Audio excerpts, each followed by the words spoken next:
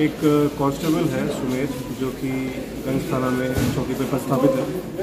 वो अपनी ड्यूटी करके घर वापस लौट रहा था पुलिस लाइन के पास ही उसका घर है।